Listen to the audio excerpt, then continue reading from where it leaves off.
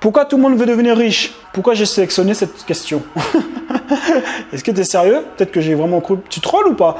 Bon, alors je vais quand même y répondre parce que si j'ai noté, c'est peut-être que je me suis dit peut-être que tu trolles pas, peut-être dans le contexte quand je l'ai relevé. Donc pourquoi tout le monde veut devenir riche? Bah, Tout simplement parce que les gens veulent devenir libres.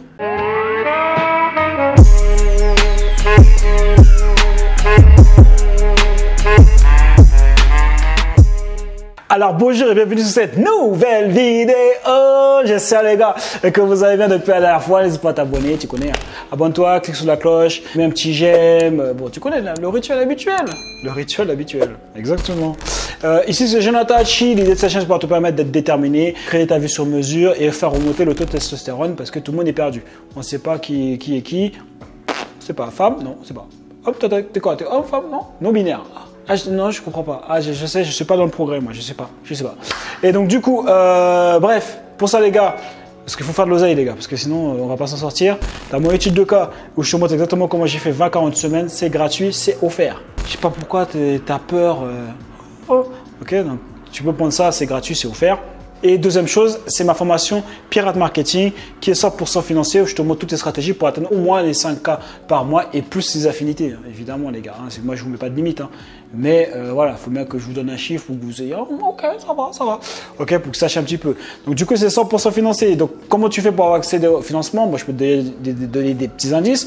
Déjà, il faut que tu habites en France. Ou en tout cas, il faut que tu aies cotisé en France faut que tu cotises en France et là du coup auras, euh, tu pourras utiliser euh, ton CPF pour pouvoir bah, accéder à l'information euh, et te faire financer. Mais après tu peux aussi l'acheter. Hein. Ça ne posera pas de souci.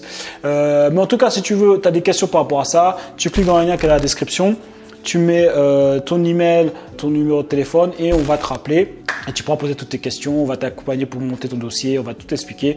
Ok, après on aura les accès à Pirate Marketing et tu pourras commencer à travailler, à faire de l'oseille et après à voyager où tu veux, quand tu veux, ok? Et pas d'excuses, les gars, j'ai grandi à Évry dans le, dans le 91, j'ai redoublé mon BEP, j'ai grandi dans le quartier des Pyramides plus exactement, ok? J'ai été salarié dans différents domaines, chez les, chez les militaires, quand j'étais pompé de Paris, j'étais électricien chez les de Paris, quand j'étais infirmier, quand j'étais électricien chez EDF, on a fait tout. ok? Je peux te dire que je préfère te faire gagner du temps, tout est éclaté. ok? Le mieux, c'est d'être entrepreneur. Si tu cherches le confort et que tu veux que l'argent tombe du ciel sans rien faire, bah, vaut mieux que tu restes salarié. Je dis pas que tu fais rien quand tu es salarié, comme toi Gérard. Ce que je veux dire, c'est que tu n'as pas, pas à te soucier, ça tombe tous les mois, que tu taffes un peu moins, que tu sois un peu moins productif ou pas. Entrepreneur, c'est pas la même. Ok, donc euh, passons directement au sujet de la vidéo. Donc du coup, euh, vidéo FAQ, euh, c'était pas prévu en fait. Je vous avais demandé sur Instagram de, de me donner en fait des, des thèmes, des, des sujets euh, de vidéos que, que vous voulez que j'aborde, mais euh, finalement en fait c'était des questions plus. C'était plus des questions. J'aurais pas pu faire une vidéo pour chaque question ou, ou c'était plutôt des trucs, des réponses rapides. Bon, du coup, j'ai dit bah vas-y, je vais en faire une FAQ. Donc, on va commencer direct. Alors, du coup, euh, première question. Quelles sont les erreurs que tu as commises dans le développement personnel et le business? Alors du coup, j'ai fait une vidéo par contre les gars sur, euh, ça. vraiment, j'ai dit euh, quatre erreurs ou enfin les erreurs que j'ai faites, un truc comme ça. Donc n'hésite pas à checker ça si jamais tu veux en savoir plus. Parce que là, ça, du coup, là, c'est, ça peut être une vidéo complète. Mais du coup, ce que je peux te dire qui me vient à l'esprit comme ça, c'est que déjà, premièrement, c'est erreur que j'ai faite, c'est l'objet brillant. Ça veut dire de ne pas être focus et, de vouloir euh, faire plusieurs business en même temps, lancer plusieurs business en même temps, etc. Tu perds du temps. Même si je ne l'ai pas trop fait, mais je l'ai fait quand même et ça m'a quand même fait perdre du temps. Ça, c'est sûr. Vouloir gagner de l'argent rapidement aussi. Ça, c'est une erreur, mais ça revient au même en fait. Quand tu es dans l'objet brillant, c'est parce que tu penses que ah, ce cheval-là, en fait, c'est pas le meilleur. Je pense que si je prends ce cheval-là, ça ira plus vite. Donc ça revient au même. En fait, en gros, tu veux faire de l'argent euh, plus rapidement, euh, mais ça fonctionne pas comme ça en fait. Donc ça c'est une grosse erreur. C'est plutôt vraiment se focus sur un seul business et ne pas le lâcher. Une fois que tu as choisi un, tu ne le lâches pas, tu continues. Et de toute façon, c'est sur 5 à 10 ans. Ça ne sert à rien de chercher les gars.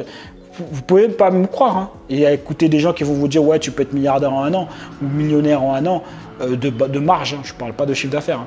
Donc euh, allez-y les gars, croyez. Et vous allez revenir gentiment à la maison et vous dire ah désolé Jonathan, Joe je pensais que ah, mais ferme-la, ferme-la parce que je te l'ai dit. Ça fait longtemps que je te l'ai dit. Je te l'ai dit pratiquement dans toutes les vidéos. Là, tu préfères du truc sexy, euh, oui, tu préfères être sexy genre je, suis milliardaire en, en 4 heures, mais vas-y. Après tu vas te plaindre, les gars, il faut du marketing, euh, vraiment, c'est des mythos. Hein. Ah, c'est pas vrai, on peut pas faire un milliard en, En 5 minutes Ah bon? Pourtant, Mark Zuckerberg Ferme-la un peu. Ok, et après, autre erreur que j'ai faite, euh, c'est ne pas avoir investi en bourse euh, plus tôt. Et ça, c'est une erreur, ça, les gars. Ça veut dire que là, que tu sois tous les gens qui regardent cette vidéo, tu pourras pas dire, Attends, les gars, vous pouvez pas dire que je vous pas dit. Là, je te parle comme si c'était mon pote. Tous les gars, tous les, tous les gens qui regardent cette vidéo, hommes, femmes, tout ce que tu veux, non-binaire, ah on n'est pas, contre. C'est juste que, bon, on n'est pas enseigné ça euh, à nos enfants dans les écoles. Genre, oui, tu dois être un homme, tu, choisis ce que tu veux. Bon, bref, de fermer de la parenthèse. Qui que tu sois, nous, on est dans la tolérance, il n'y a pas de problème pour ça. Mais juste, faut pas nous mentir quand même. Bien que ça, la personne qui regarde cette vidéo, les gars, vous devez investir en bourse. C'est simple. Tout le monde. Tout le monde. Bourse long terme. Ok? Ça veut dire que même si tu foires ta life, même si tu as lancé ton business, imaginons que ça va pas fonctionner ou je sais pas quoi, tu as une assurance de toute façon de devenir riche. Grâce à ça. Et c'est comme ça que Warren Buffett l'a fait. Ok? Donc je te le dis, parce que j'ai pris du temps à l'intégrer. Je sais pas pourquoi, mais voilà, ben, n'oublie pas les gars. Et eh, nous, on est parti vraiment tout en bas. Hein. Donc ça veut dire qu'il faut se former petit à petit. Hein, il n'y avait pas un gars comme moi qui venait, qui te disait des trucs comme ça là. Hein.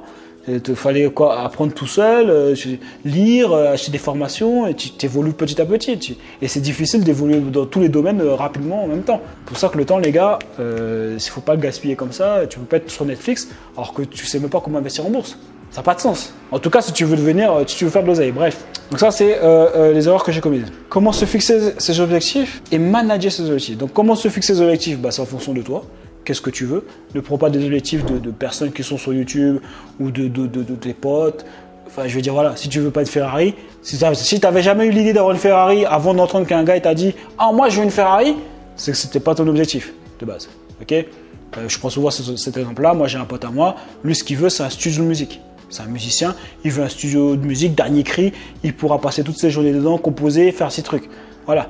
Il s'en bat les reins de vivre à Miami. Enfin, ça l'intéresse, mais c'est pas sa priorité, contrairement à moi. Tu vois, donc chacun a ses objectifs. Les objectifs, c'est en fonction de qui tu veux devenir, qu'est-ce que tu veux faire dans la vie, où est-ce que tu te vois dans 5 ans, qu'est-ce que tu fais exactement, comment tu occupes tes journées, où est-ce que tu habites, avec qui tu es. Okay ça, c'est tes objectifs. Et après, pouvoir manager tes objectifs, j'en parle dans Mindset Millionnaire. Tu as tout en description? J'en parle dans Mindset Millionnaire aussi, ça, hein. plus précisément, en détail. Et après, manager, bah, c'est déjà bah, euh, bah, de faire tous les soirs, programmer ta journée du lendemain. quoi programmer ta journée du lendemain en fonction des objectifs que tu vas atteindre. Tu vois. De toute façon, je rentre en détail euh, dans 7 millionnaire si jamais tu veux aller euh, plus loin euh, par rapport à ça. Quelles sont les qualités d'un entrepreneur à succès? Les qualités d'un entrepreneur à succès, c'est simple. C'est un gars qui est persévérant, un gars qui est déterminé, qui est discipliné et qui est patient parce que ça prend du temps. Comment développer sa patience? En pensant long terme, pensant à la récompense que tu auras sur le long terme et apprécier le, le voyage aussi. Comment développer son mindset tous les jours? Bah, Ça, c'est en c'est en travaillant sur soi. déjà, déjà, il faut, en faisant déjà des, auto, des autosuggestions. Ça, c'est sûr. En, ayant une routine, en tout cas, moi, c'est ce que je fais. J'ai une routine que je fais tous les matins. Je partage ça aussi dans le mindset millionnaire. Euh, j'ai une routine que je fais tous les matins pour pouvoir euh, apprendre à devenir qui je veux devenir. Enfin, plutôt intégrer qui je veux devenir. Tu vois, parce que la personne que tu es, c'est la personne qu'on t'a tellement répété que tu es. Si on t'a dit, par exemple, que t'es un gars manuel, t'es un gars manuel, ou t'as dit depuis tout petit, tu vas dire, ah, je suis un gars manuel. Voilà, parce qu'on te l'a répété. Bah, c'est le système, tu vois. Donc, euh, je me répète toujours qui je suis parce que tu te répètes pas qui je suis et qui je veux devenir, bah, tu oublies.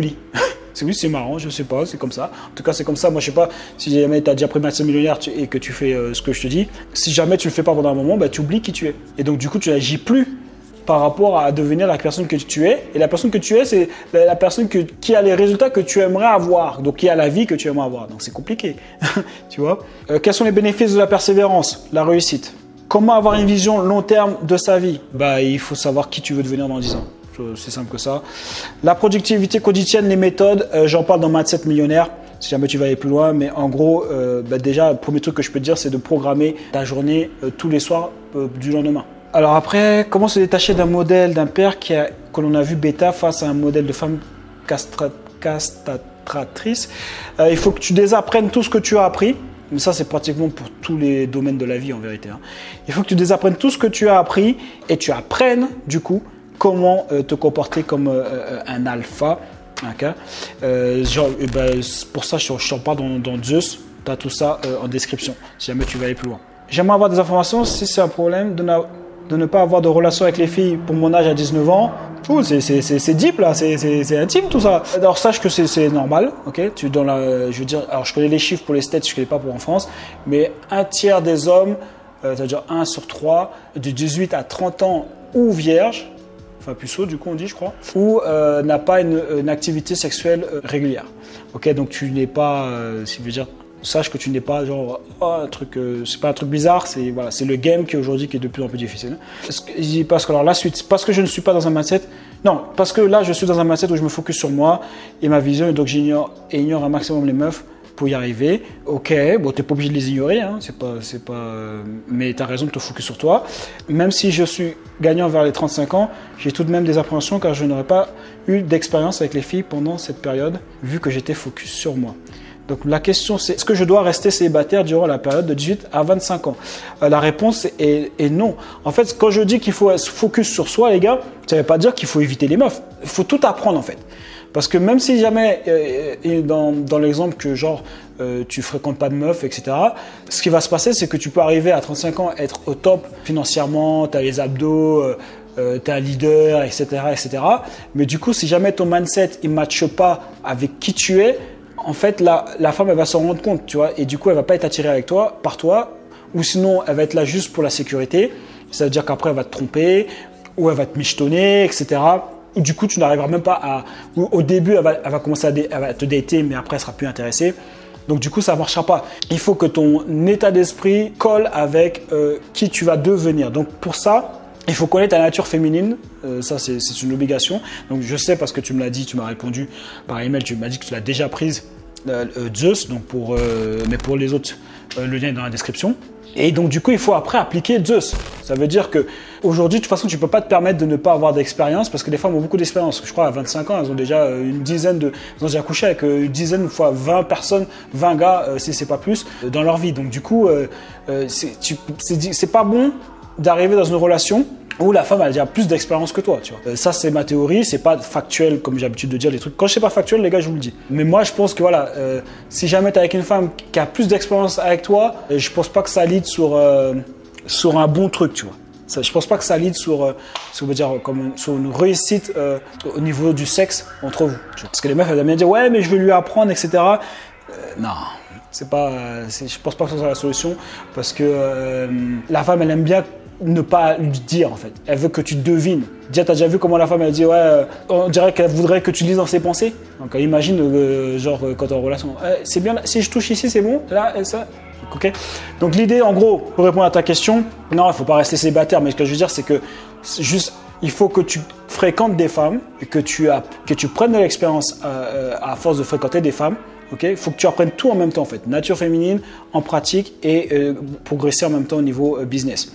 Il faut que tout soit en même temps. Il faut que tu progresses sur tous les piliers euh, en même temps. C'est juste que quand je dis rester focus sur vous-même, c'est-à-dire ne passez pas votre temps à courir après les femmes, votre focus doit être d'abord sur vous. Parce que plus tu vas monter en puissance, parce que l'homme doit devenir pour pouvoir attirer les femmes, que ce soit statut, argent, ok, ça tu es au courant, statut, argent et euh, je sais plus c'est quoi le troisième, et en tout cas être in shape, etc. Euh, c'est ça qui va attirer les femmes. Et plus tu vas monter sur ces piliers, statuts, etc.